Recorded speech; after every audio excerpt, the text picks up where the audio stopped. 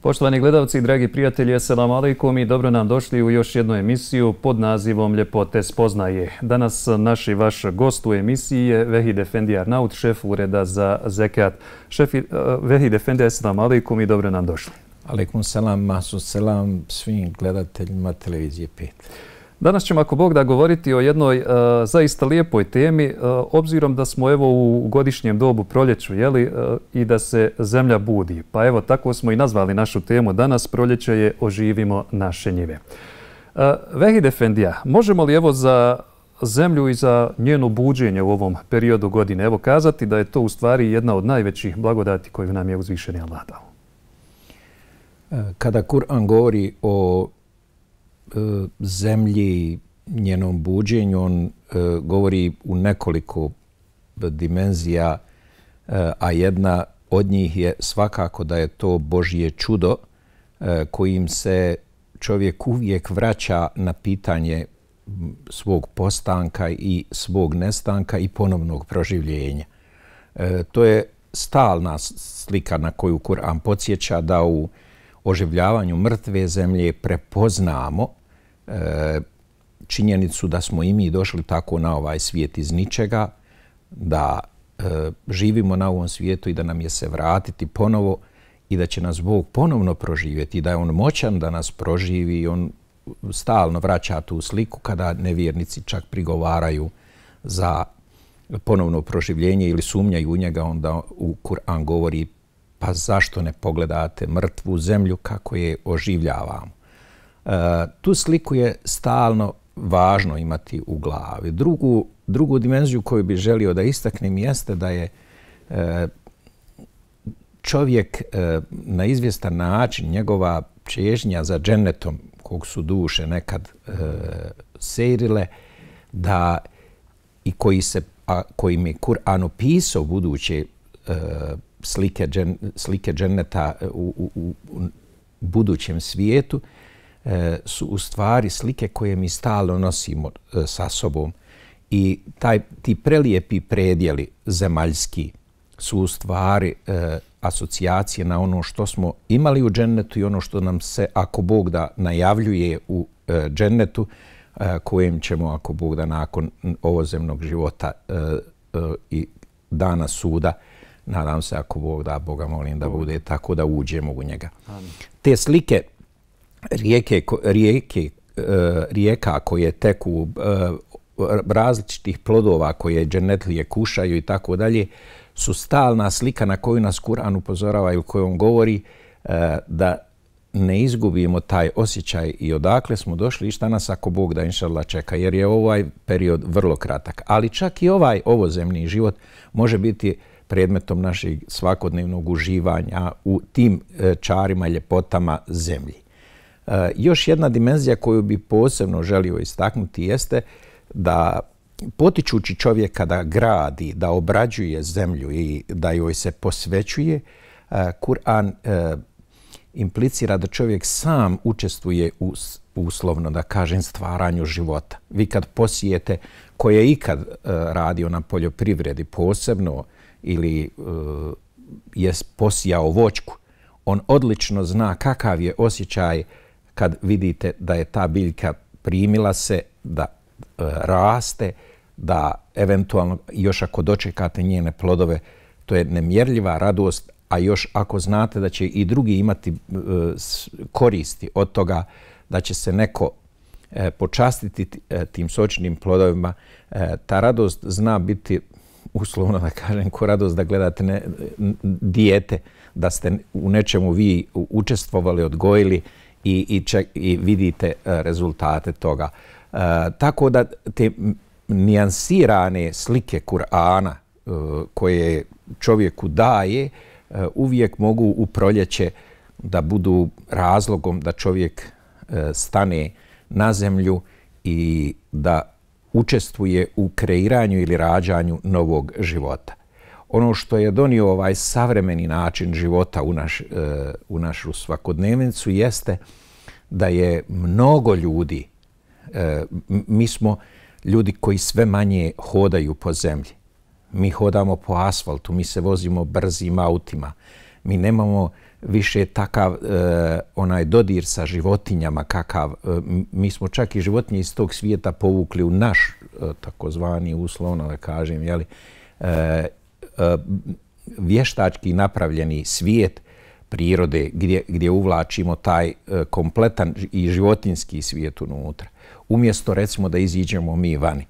E, u tom smislu bi preporučio svim ljudima da što češće iziđu, da skinu cipele, da prošetaju bosi po, po e, zemlji, e, u najmanju ruku, bar toliko, onima koji imaju zemlju da je e, dijelom e, obrađuju, e, jer e, rekao bi jedan od, od šejhova koje sam ja poznavao, e, zemlja je i jedna od najboljih e, terapija e, zemlja, on bi imao običaj kazati, zemlja izvlači iz vas one negativne jone ili negativnu energiju i povlači za sobom dokle god ste sa njom u tom kontaktu. Zbog činjenice da sve manje imamo dodira sa zemljom, realnog, e, svakodnevnog dodira sa zemljom, da ne govorim koliko je se bolesti i svega ovoga e, pojavilo u ljudskom rodu, e, stoga bi bilo jako korisno da u ovom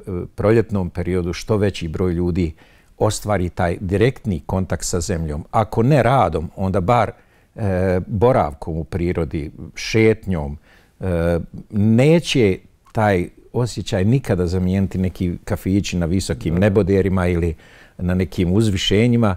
E, ne mogu oni zamijeniti onaj osjećaj kada bacite na e, ugrijanu zemlju, E, deku, popijete sok ili ručate tako, te navike polako uz normalno obrađivanje zemlje onaj ko ima, ali i ove navike čak tog kratkog dodira sa prirodom treba vraćati u naše porodice.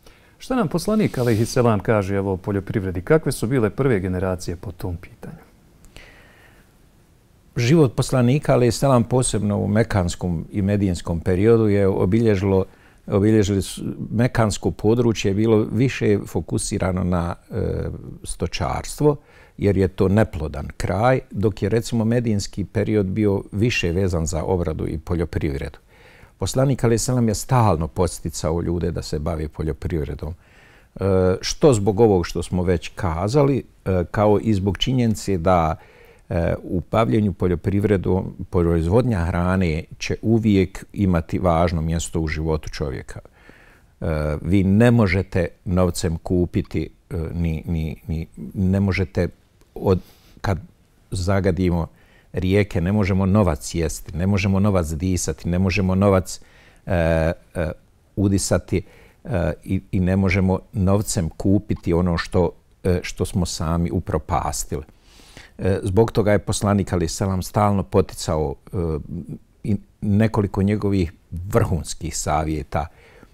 Ja mislim čak kad, kad bi e, za ekološki princip u svijetu usvojili nekoliko hadisa poslanika Ali Selam, da i ne postoji na svijetu ljepše kazan iskaz u tom, u tom pravcu. E, recimo dva su hadisa, e, evo ja ću navesti tri. Jedan je hadis u kom je poslanik Ali Salam kaže, kada bi nastupio sudnji dana u tvojim rukama sadnica za sadje.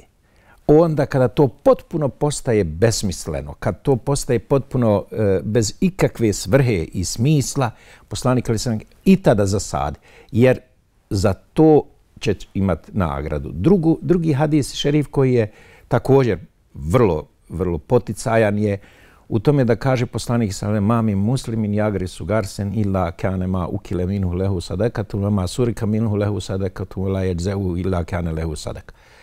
Kad musliman zasadi vočku, sve što od nje se i pojede i propadne i, i uh, pojede njegova porodca ili neko, nešto od životinje pojedu, za sve ima kao da je podijelio sadaku, ima nagradu. Ja ne znam ko je ljepše savjete dao e, o recimo e, ze, o sadnji, o poticaju na radu i na zemljoradnju. I treći hadis šerif je, kaže poslanik salam, onaj ko oživi umrlu, obamrlu zemlju, ona njemu pripada. Gdje god čovjek e, praktično nađe prostor da radi na zemlji, poslanik ga je savjetovao da, da to uradi. Ova tri hadisa šerifa, kada bi samo njih imali, pored značajnog broja kuranskih ajeta koji potiču čovjeka na, na rad, na zemljoradnju, na e, taj kontakt sa, sa prirodom i sa zemljom, e, dovoljno bi bilo svakom muslimanu da kad god ima priliku sadi, E, kalemi, e, oživljava mrtvu zemlju i čisti e, zemlju od bilo čega što bi moglo da se, što može da je zaprlja. Da, evo, spomenuli ste i kuranske ajete. Zaista, evo, u, u toj poljoprivredi, jeli, dok čovjek gleda kako to sve niče, kako to sve rađa i daje višestruke plodove na kraju krajeva, nekako u čovjeku jača iman, Vehid Efendija, jača, da kažemo, ljubav prema gospodaru. Isto tako, e, pretpostavljam da je to e, dobar način, odnosno ispravan način oslanjanja, tevekula, oslanjanja na Allaha Đelešanohu. Mi uradimo što je do nas, a ostalo onda, jeli, oslonimo se na uzvišenog gospodara. E I sa druge strane, ili treće, koje ko zna već koje, e, ako tražimo halal ishranu, a svi govorimo o halal ishrani, pa evo, to je, čini mi se, najbolja prilika. A ipak smo mi ovaj segment u našem životu pod dobrano zapustili. Pa generalno na svijetu su procesi koji znače iseljavanje rubnih područja, prelazak ljudi u velike gradove, e, usitnjavanje ili sada u svijetu imate ukrupljavanje pro, e, prostora koji se obrađuju kao poljoprivredna dobra i tako dalje. E, mi nismo imuni na te procese. Naša sela u značajnom mjeri ostaju već prazna, naše štale ostaju prazne, ljudi prelaze u jedan potpuno drugi svijet e, i nije to ništa što je e, van ljudsko ili nešto što je trend samo ovdje u Bosni i Hercegovini. To su trendovi koji se generalno u svijetu danas događaju. I zemlje oko nas pate od istih problema. E, valjalo bi da zemlja ne ostane neobrađena. To je ono što je ključna stvar. Da li će to obrađivati jedan farmer za čitavo selo ili tri čovjeka, ono što su radili pojedinačno svi ljudi, e, to je sada već neki, neki, neka druga o, dimenzija, ali je ključno da ne ostanu obrađena područja. Ona kad se, gospodar dao takvu Kad je gospodar zemlju. dao ovakvu, ovakvu plodnu zemlju u koju ljudi koji dolaze kažu da je džennet na ovom svijetu, e, E, mi zbog e, koristi ili zbog e, opravdanosti hrane ili cijena hrane i tako dalje, već dovodimo u pitanje uopće da li trebamo obrađivati zemlju ili ne. E, ključna stvar je u ovome da ne ostane ni metar te zemlje neobrađen. Da li će to obrađivati se na ovakav ili na, na onakav način. E, kod zemlje, onaj ko je radio ikada zemlju, zna temeljnu stvar, da ako zemlju zapustite, trebaju godine da se ona e, rekultivira ili revitalizira njen, njen, njeno ponovno e, ostvarivanje prihoda.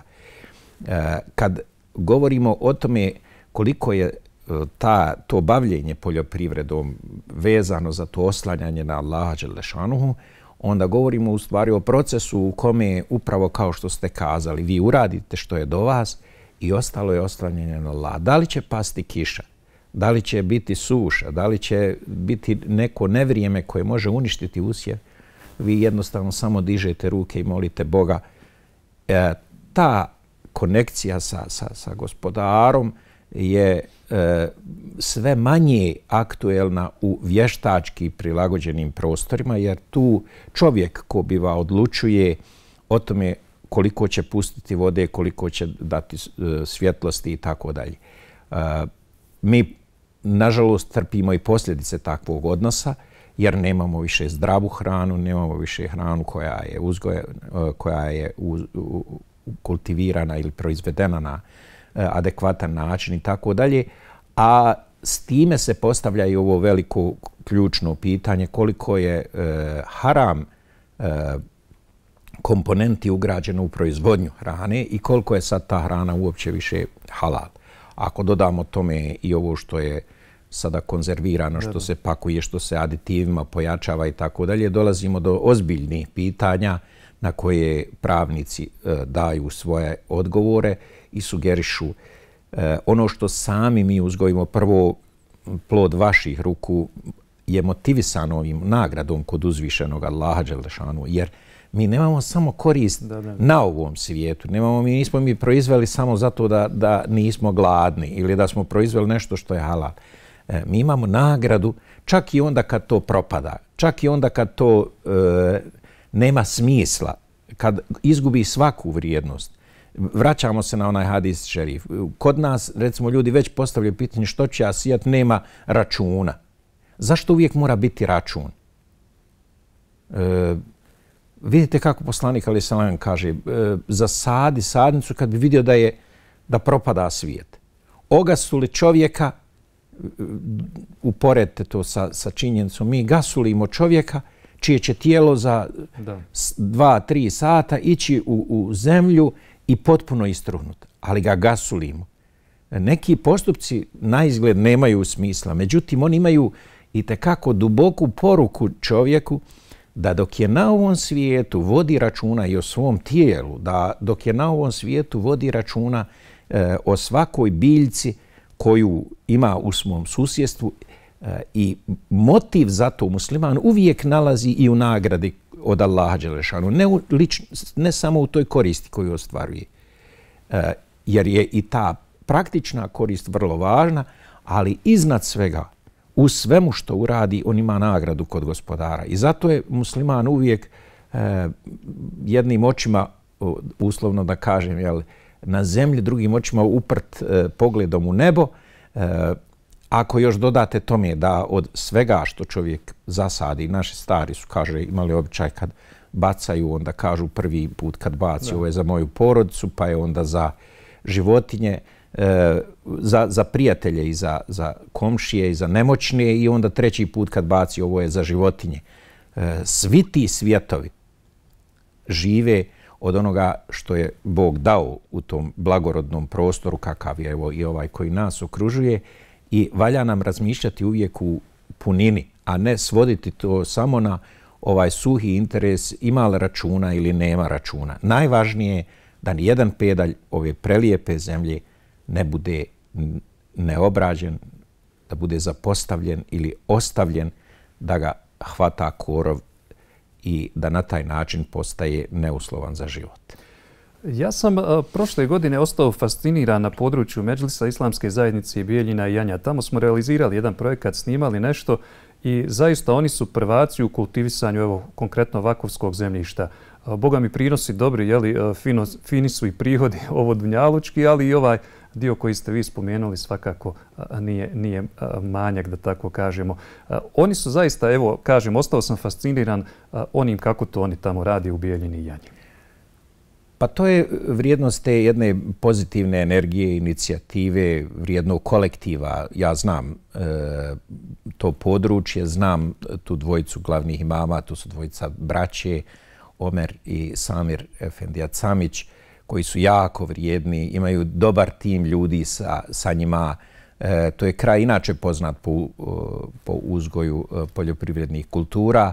E, zemlja je blagorodna i š, oni su ovo o čemu smo govorili jako lijepo iskoristili. Ljudi koji su vani, koji imaju velike posjede, a ne koriste ih, oni su kazali dajte nam te posjede, e, pri, e, njih ćemo pridodati onome što već posjedujemo kao vakufsku imovinu koja je prilično bila zapuštena, posebno u ovom periodu nakon e, agresije. I onda su to kultivirali, ukrupnili posjede e, i uz svesrdnu pomoć vakufske direkcije u Bosni i Hercegovini, koja je prepoznala tako i prepoznaje takve e, dobre o, projekte, možda je manje poznato javnosti, ali vakufska direkcija je realizirala niz takvih projekata oživljavanja vakufskih parcela kroz sadnju oraha, kroz sadnju voćnjaka, kroz e, kultivisanje i sadnju ovih kultura, područje, recimo, e, Glamoča je u značajnoj mjeri e, kultiviralo proizvodnju krompira, kao što je recimo i kupres, kao što je evo, Janja i Bijeljina proizvodnju e, brašna ili pšenice na tom području gdje ona e, i druga područja, e, Bratunac, e, Vlasenica i tako dalje, to su područja koja su e, posebno aktivnostima e, imama i džematskih odbora i džemata, Eh, hvala Allahu, pokušali da ono što je zapušteno od vakufske imovine prije svega dožive, ali da e, ožive, a da tome pridodaju još i ono što je eventualno od ljudi koji ne žive više tu, ali su spremni da njihove njive ne propadaju, da ali to uopće u korist. Druga dimenzija je ovoga korist koja je ostvarena i treća, jako važna.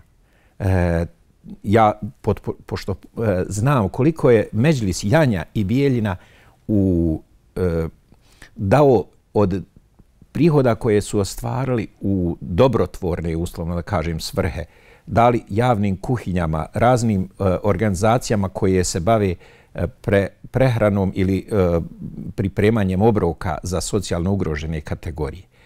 E, to dobro se naprosto ukrupnjava. I ja molim Allah Đelešanuhu da ih podrži uh, u, u toj lijepoj namjeri, kako njih, tako i, i sve naše međlise koji uh, po, pokušavaju napraviti jedne takve programe.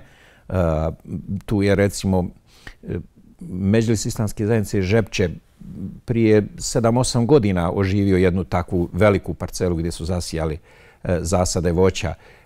Recimo naša organizacijona jedinca KROPS, E, to je Centar za liječenje od ovisnosti, ima veliko imanje na kome su već počeli da, da svoju šljivu suše, prerađuju, pakuju, e, distribuiraju i u značajnoj mjeri je e, daju kao, kao e, doprinos toj društvenoj odgovornosti u smislu podrške i pomoći e, socijalno ugroženim kategorijama u našem društvu. E, to su lijepe priče koje valja isticati, to su e, dobri primjeri koji potiču druge i ako Bog da inša Allah, ja se nadam da će njih biti sve više. To je ono što, o čemu sam malo prije govorio. E, ako imate izumiranje na način da ljudi odlaze iz sela, onda možemo možda ukrupnjivati e, posjede i proizvoditi ili e, i proizvoditi jednu potpuno novu vrijednost. Da. Vehid Efendija, hvala vam puno na gostovanju i zaista je bilo zanimljivo i ugodno pričati o ovoj temi. Hvala i vama i ja pozivam svakog prije svega da iziđe u prirodu, da dotakne prirodu, da se ne ustručava, da zasadi, da obradi ono što je do njega, a da moli uzvišenog Boga da od onog što zasadi bude koristi i nama i svim svjetovima koji nas okružuju. Da. Kao što rekao smo u naslovu ove teme, poštovani gledalci, proljeće je oživimo naše njive. Hvala vam za pažnju i eselamu alaikum.